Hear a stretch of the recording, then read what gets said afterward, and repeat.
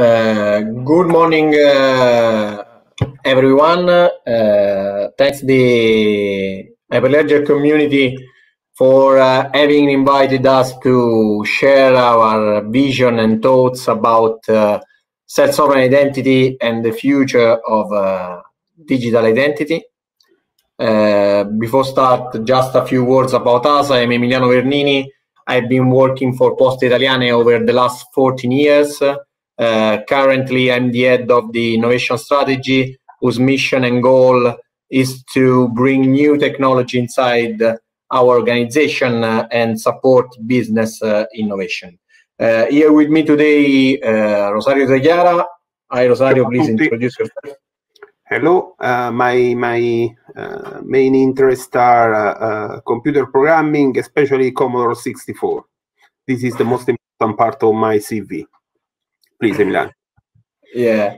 Um, for those who are not familiar with Poste Italiane, as you can imagine from the name, Poste Italiane is uh, the largest uh, uh, postal and logistic operator in uh, in Italy, but uh, is also a bank, uh, is also an insurance, is a mobile virtual operator, and with its over uh, 12,000 postal offices spread all over Italy is for sure the biggest proximity network in Italy. When I say proximity, uh, I mean that daily we meet face to face our customer. Uh, or we have over one million and a half visitors per day in our postal offices. So you can imagine from these huge numbers how big is our company. Uh, probably you're asking why Poste Italiane and uh, digital identities. Well, because we Poste Italiane is also uh, the biggest digital identity provider in in Italy. Poste Italiane issued over 16 million um, digital identities. Poste Italiane solution that is named Poste ID is eIDAS certified. Uh, and so uh, Poste Italiane plays a really crucial role in the digitalization process of the of the Italian uh, of the Italian country. Uh, before going deeper in the in our solution and what we have developed so far, just to set a, common ground of knowledge, I will go briefly through the evolution of digital identity uh, model uh, during the time. So started from the centralized identity, siloed identity, in which one operator holds uh, all the information related to the uh, digital identity of the user. Okay, and uh, through this identity provider, the user can gain access to uh, online services. this model has several problems. Uh, first of all, uh, uh, the user is disintermediated, let me say, has not the full control over it, his, his data. there, is a, there is a third party that can track all the user digital interaction, but also uh, the user experience uh, is really fragmented due to proliferation of the digital identities for, for the same user. Uh, the federated model uh, solves this, um, this last problem, this last issue, but uh, uh, the user is not still in full control over its, uh, its data.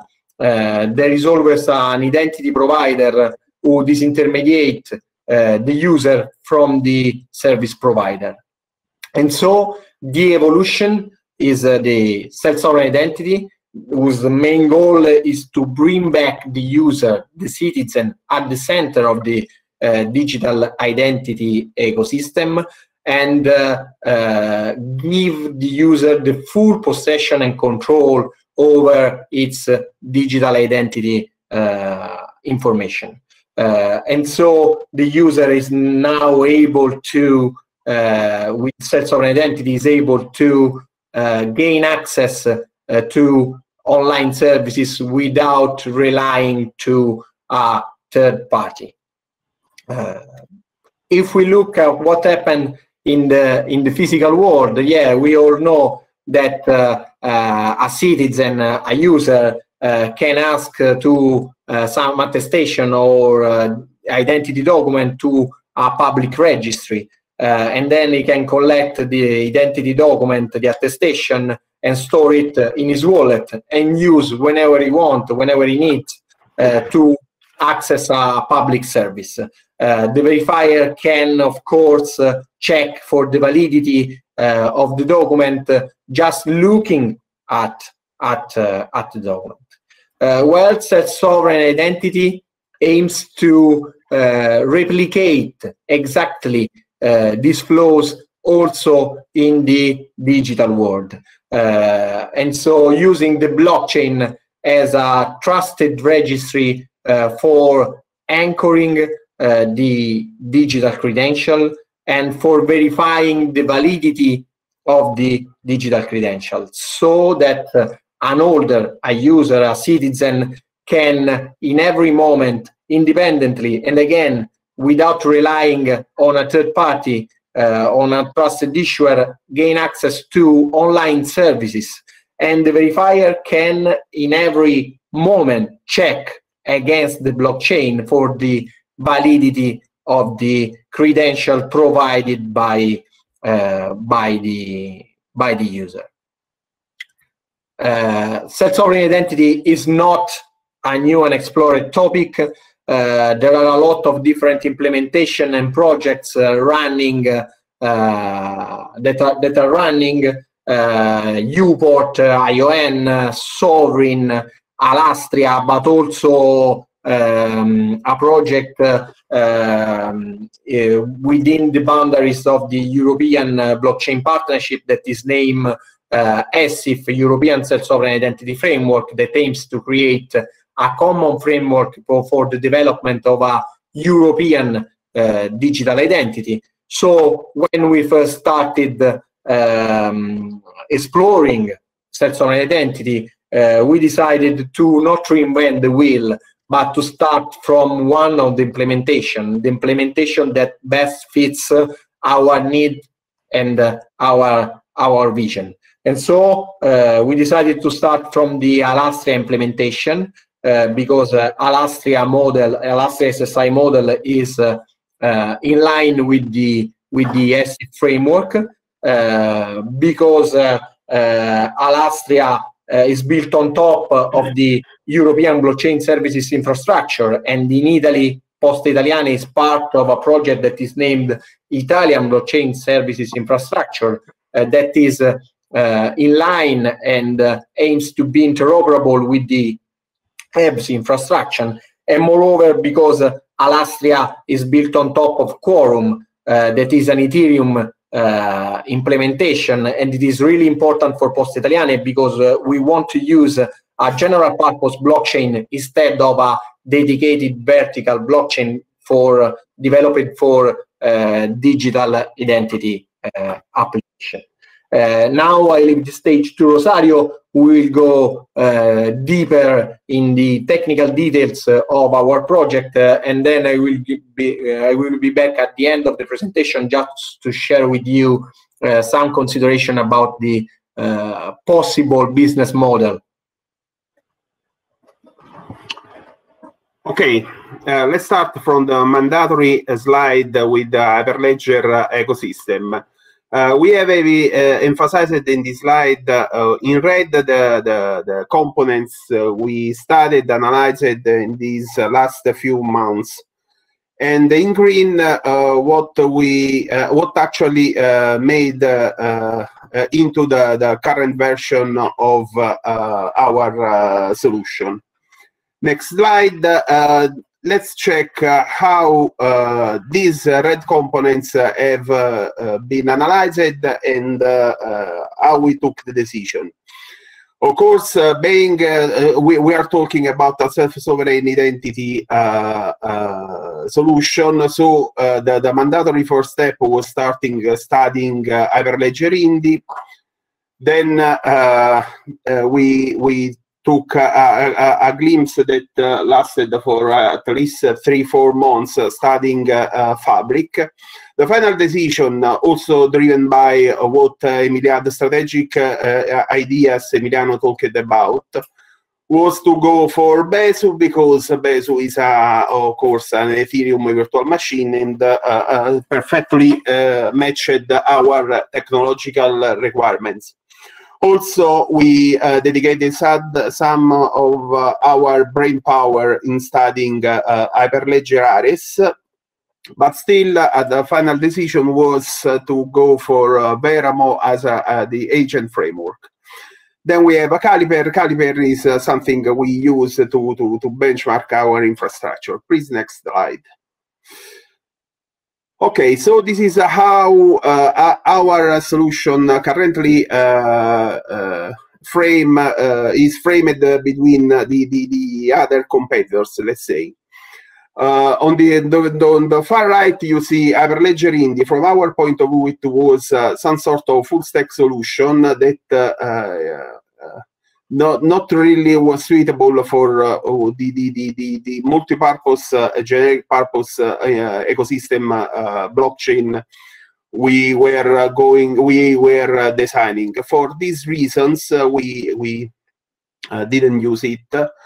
On the on the left, you see Alastria. Alastria, as Emiliano said, was the first uh, solution that uh, uh, really had uh, a range of uh, functionalities that matched our functional requirements. Requirements. And for this reason, we went into the deep of code of Alastria and started uh, customizing it. Please, next slide. Uh, once again, uh, post ID, post ID will be just one of the system uh, of the, the, the, solutions deployed on the on the Hyperledger based on uh, infra based infrastructure nodes uh, you see in the lower part of these slides that will be named IBSI IBSI in Italian, that is Italian Blockchain Services Infrastructure and it will be just one of the the, the, the numbers of uh, or the, one of the user case use cases uh, we are going to work on.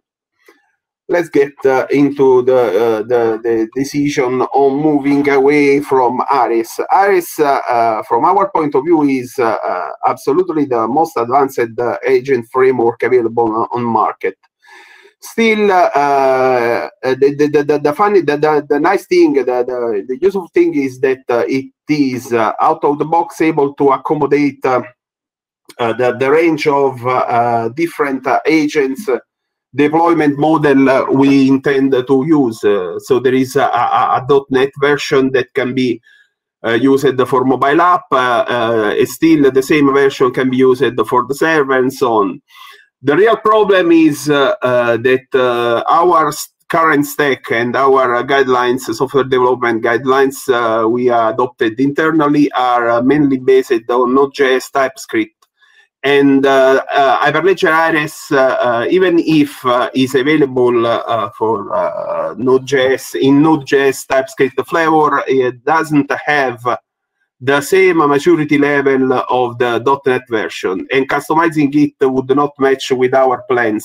So for these reasons, we moved to Veramo.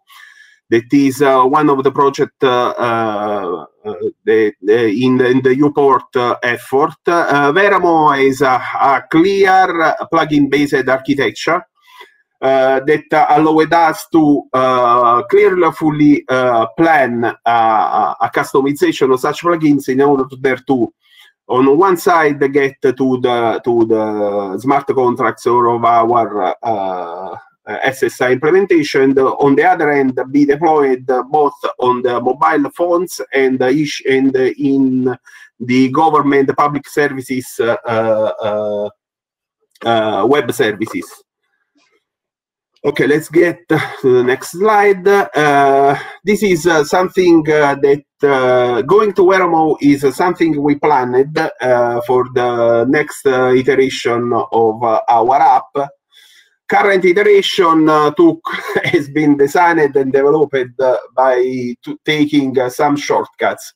For instance, we used a, a non-grown agent framework, which just allowed us to have uh, synchronous uh, communication among agents that, in, in, simple words, just allowed us to interact uh, by using the, the wallet app with the, the, the issuer, uh, the verifier, and so on, just by scanning a QR code and sending a credential. For instance, taking them and sending them uh, to a callback URL. This was a, a real Pullman solution that still uh, has been functional to getting to an MVP that we finalized just yesterday evening for for for for the first time.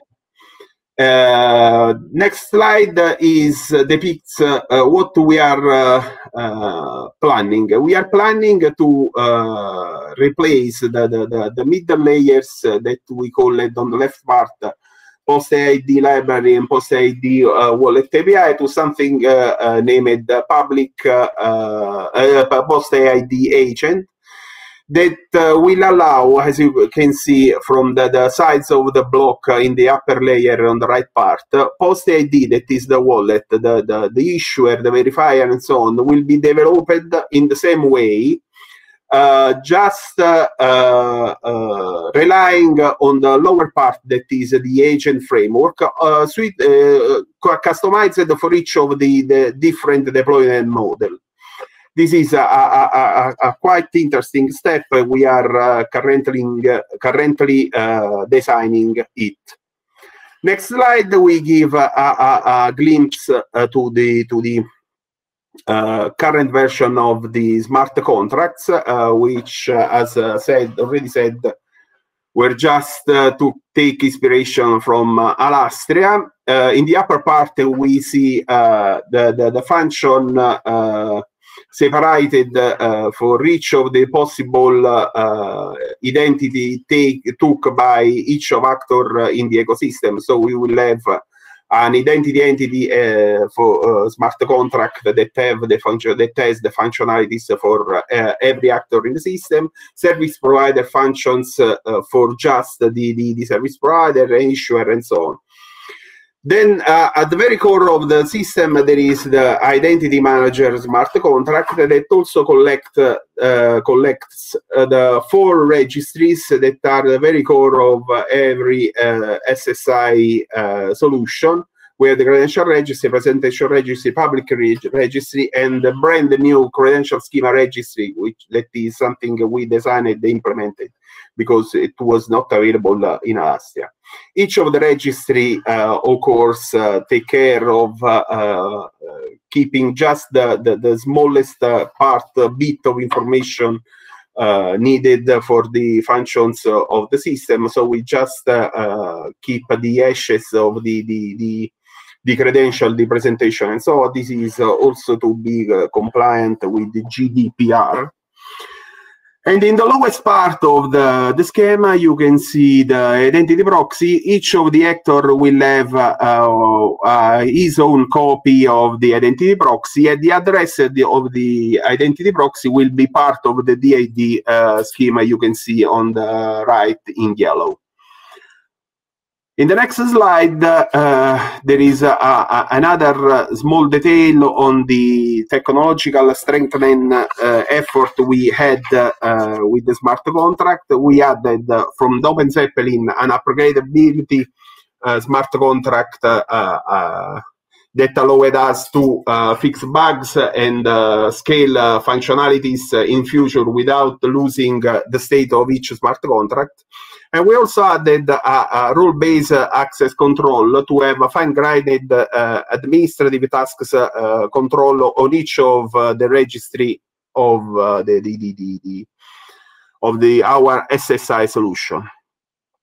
Finally, in, in, the last in the next slide, you can see. Uh, Emiliano, please start the, the, the video you can see the current version of uh, the, the, the, the Post ID app as you may expect, uh, it is a, a, big yellow app uh, with the standard, with our uh, enterprise logo colors, and it is the, as I said, the uh, MVP uh, one. We are planning MVP two uh, for next September. The, the two uh, main uh, additions will be one, of course, is the agent I talked uh, hopefully, hopefully enough in the previous slides. And next big step will be a system to allow user to get back in post in, in to to recover the the credential he or uh, she may have lost uh, in the lost in the, uh,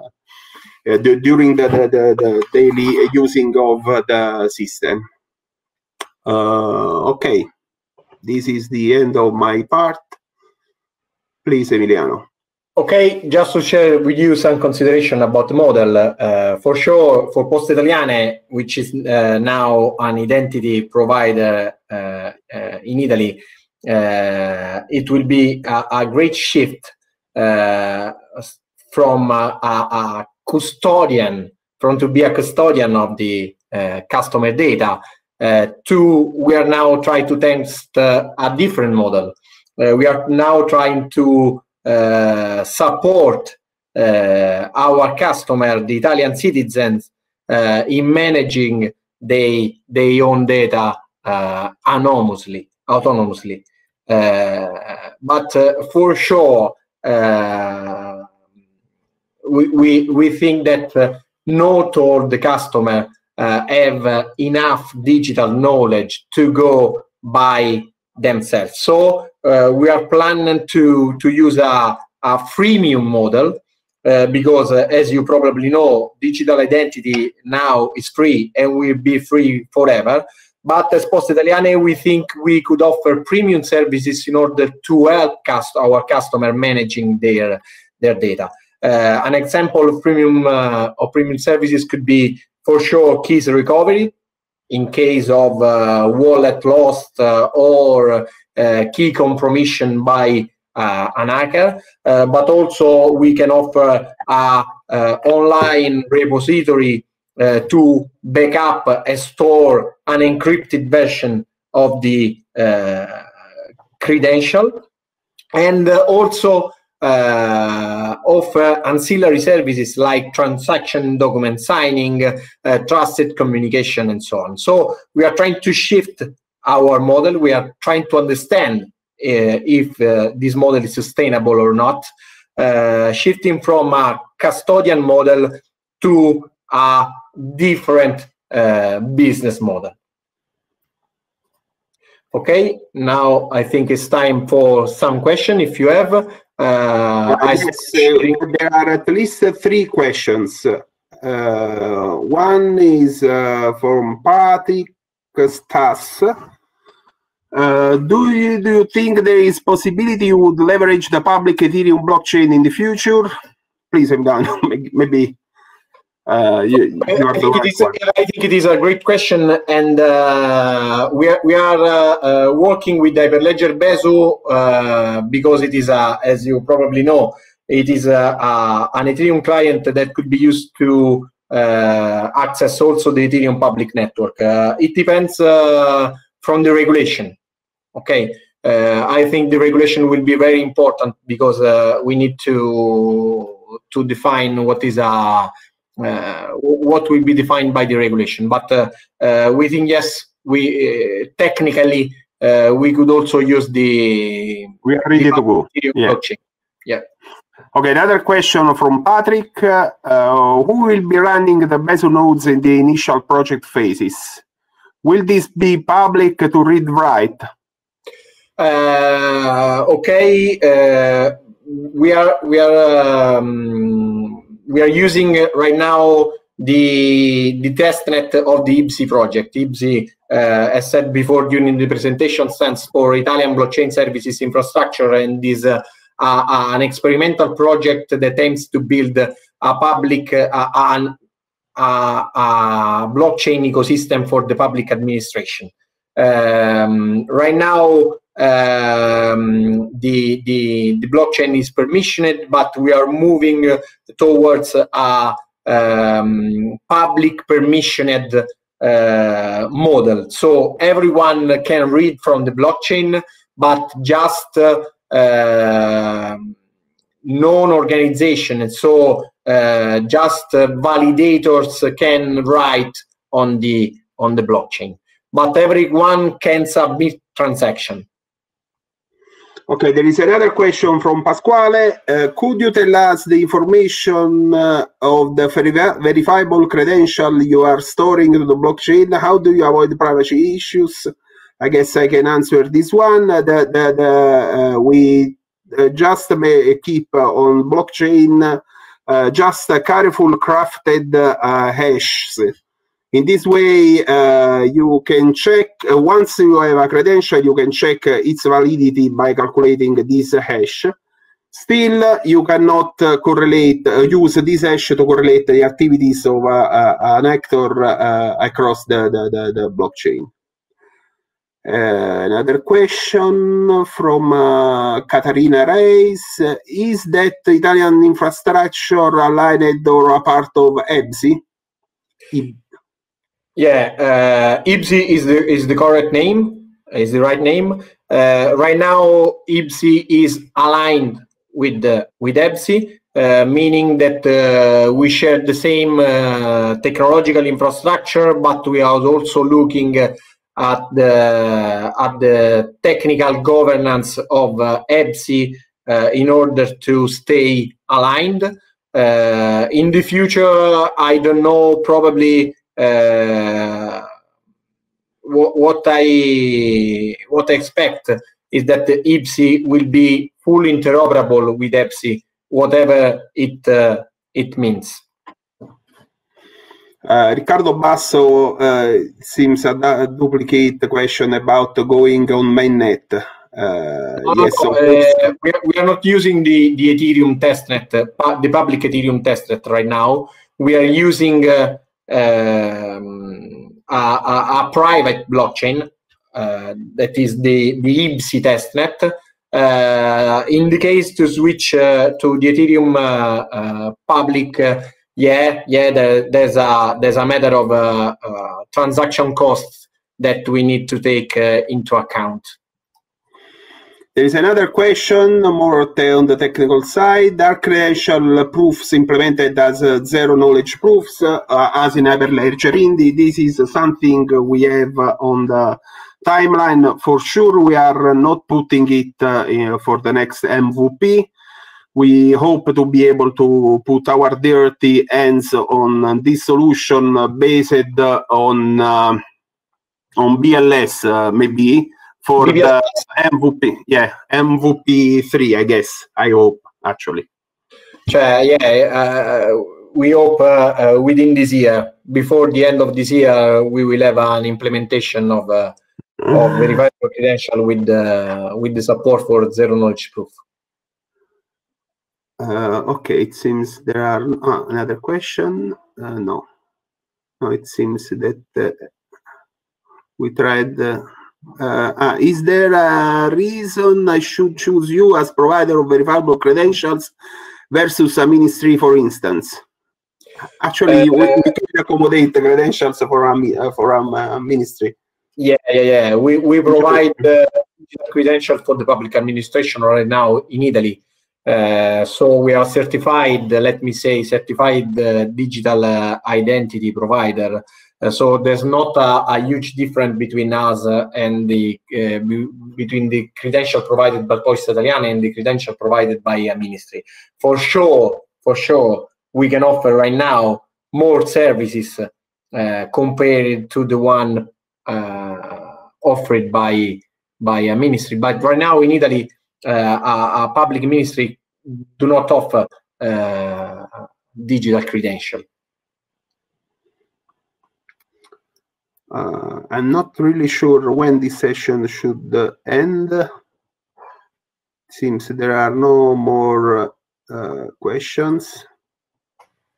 Okay, if you have any other question, please uh, connect with us uh, using uh, LinkedIn or Twitter, and okay, we will be very happy to answer. Okay, it's a wrap. We have just one minute left. Thank you, everybody for joining us and for the uh, useful feedbacks. Bye bye. Uh, have a nice day. Enjoy Hyperledger uh, Global Forum.